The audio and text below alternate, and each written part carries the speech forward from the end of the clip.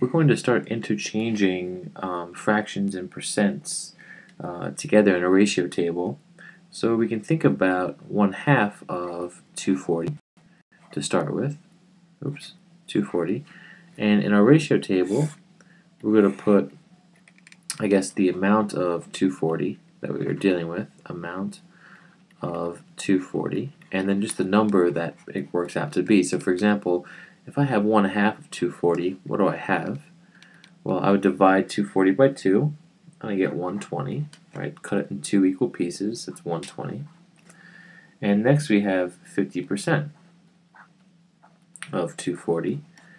Again, that's just, well, that's half of 240, isn't it? So it has to be the same thing, or 120. we're just putting this together to kind of make that connection that a half is 50%.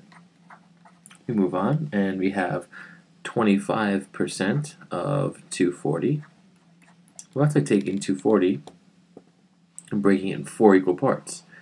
And that gives me 60. So notice 25% gives us 60.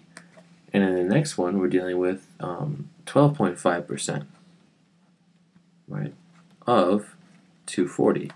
Now, alone, that might seem intimidating, but we know 25% is 60. If I take 25% and divide it by 2, I get 12.5%. And I take 60 and divide that by 2, I get 30. So 12.5% has to be 30. So if I just if you were just given this problem right here, again, you could say, oh, I don't know what 12.5% is, but if I double 12.5, that works as 25%, and I can find that. And you work your way backwards. If you knew 25%, you could half it get 12.5%. That technique, I think, goes a long way.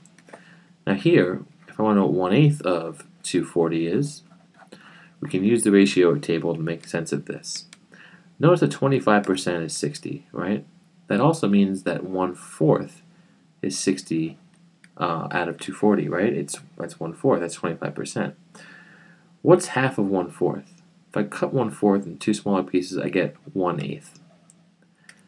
So 1 eighth uh, is connected to 1 fourth, it's half of 1 fourth, so it has to be half of 60, and that's 30.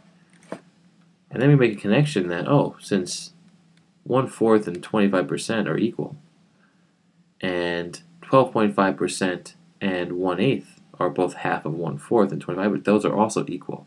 So 1 eighth and 12.5% are equivalent. And in both cases, they equal 30. And notice we just use our reasoning to, to cut through these problems and make sense of what's happening.